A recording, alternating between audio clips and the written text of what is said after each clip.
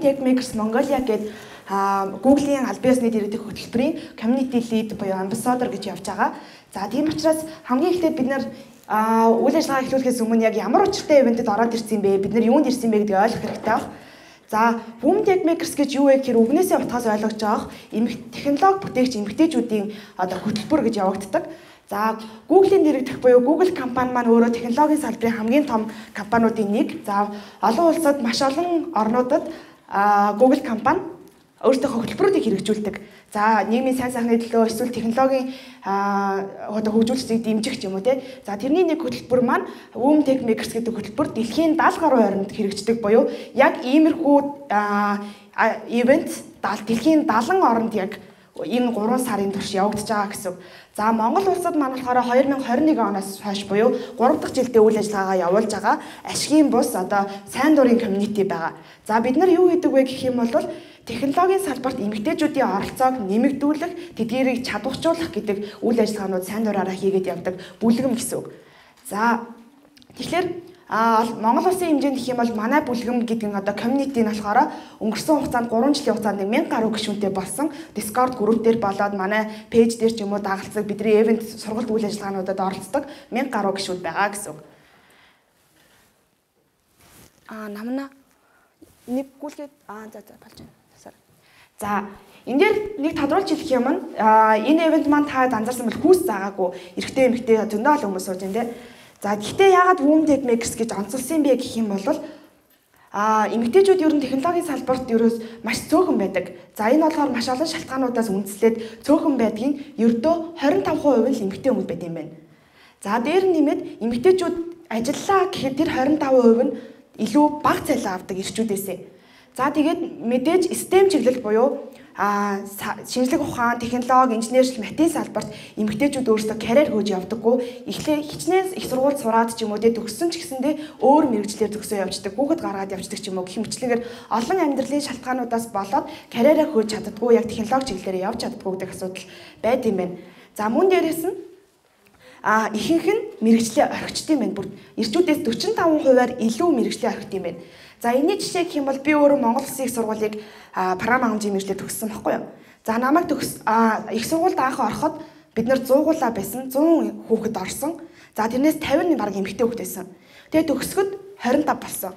Тэгээд дахиад ажлын байран дээр одоо би төгснөөсөө хойш 3 4 жилийн дараа 5 жилийн дараа эргээд харахад 5 6 хүүхэд охин эмэгтэй л яг мэрэгчлэр ажиллаж байгаа. За бусад нөгөө төгссөн хүмүүс маань яасан гэхээр амьдралын шаардлагаар ч юм уу те нэг хэсэг хугацаанд гэртээ байгаа. За эсвэл одоо өөр юм хийгээ явдаг менежер хийгээд ч юм уу явахмжлэгээр явцдаг учраас энэ мэрэгжлийн хүмүүс эмгтээчүүд ерөөсөө юу яаж явахгүй байна өөртөө ихтгэлгүй байна. Тэрийг багаас нь дэмжээ гэдэг одоо тийм нөлөөллийг бид нэр үүсгэх гээд яваад байгаа гэж байгаа. За тэгээд хичнээн манай community эмэгтэйчүүдэд зориулсан үйл ажиллагаа явуулдаг гэдэг боловч хизээч манай community 3 жил явагдах хугацаанд зөвхөн эмэгтэйчүүд оролцсноо гэж нэгч тайтл өгж байгаагүй шаардлага тавьж байгаагүй бүхний дээр хамааруулж эвент хийдэг. Энэ удаад ч гэсэндээ бүгдээрээ хийж болно гэж байна. За бид нар ер нь бол яг энэ community гэдэг юм энэ event-ээс гадна өөр юу хийдэг, ямар зорилготой юм бэ гэхээр бодит хэрэгцээд мэдээлэлээр хангаж байгаа. За энэ болохоор технологитой холбоотой мэдээ мэдээлэл юмнуудыг таад манай Facebook хуудас пэйжээс болоод Discord группээс авах боломжтой. За дээр нь технологийн сургалт үйл ажиллагаад үргэлж зохион байгуулдаг. За бид нар онлайнаар 7 хоног болны 4 дахь өдөр 7 цагаас онлайн сургалт ямар нэгэн зочин ураад технологийн талаар ярилцдаг байгаа. За тэгээд биетээр 10 гаруй удаа эвент хийсэн. Энэ маань ч гэсэн үргэлжлээд цаашаа явах хаа. Арай жижиг эвентүүд хийгддэг гэсэн. Яг тех талын.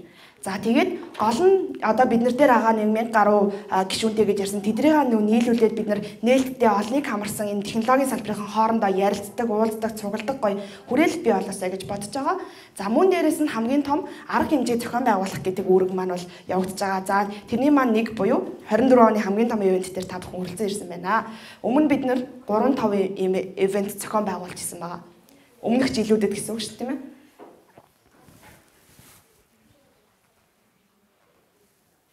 За.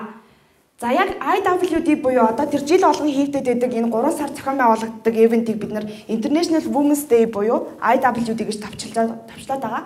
Энэ маань юу гэдэг юм бэ гэхээр яг түрүүний хэлжсэнчлэн 3 сарын 8-ны өдрийг тохиолдуулаад дэлхийн 70 гаруй орнд зохион байгуулагдаж байгаа. Бид нар бол 9-нд хийж байгаа нэг төлөөлнө гэсэн янз янзаар хийгддэг. Зарим газруудад зөвхөн AI ярьж байгаа, зарим газар зөвхөн эмгтээчүүд конференц хийж байгаа, эсвэл зүгээр л ууж байгаа ч юм уу те мэдгүй. Ямар нэгэн байдлаар тэр хүмүүстэй нөлөөлж байгаа. За бидний сонгосон арга зам бол 10 жилийн хүүхдүүдэд зориулъя гэсэн ба. За Монгол Улсын хэмжээнд бид нар нодлон уурчнан гэд 2 жилүүдэд ямар юм хийжсэн бэ гэхээр Div Summit гэдэг технологи хөгжүүлэгчдийн том ивент болдог. Монголын хамгийн том хөгжүүлэгчдийн ивент дээр эмэгтэйчүүдийн хэсгийг хариуцаж ажиллаж исэн. За дээр нь өнгөрсөн жил цахим арчин дах эмэгтэйчүүдийн аюулгүй байдал гэдэг нэг тийм гоё хактон зохион байгуулад аюулгүй амжилттай явж исэн байгаа.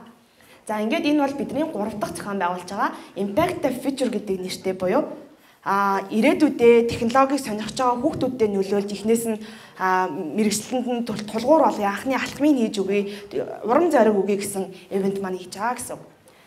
За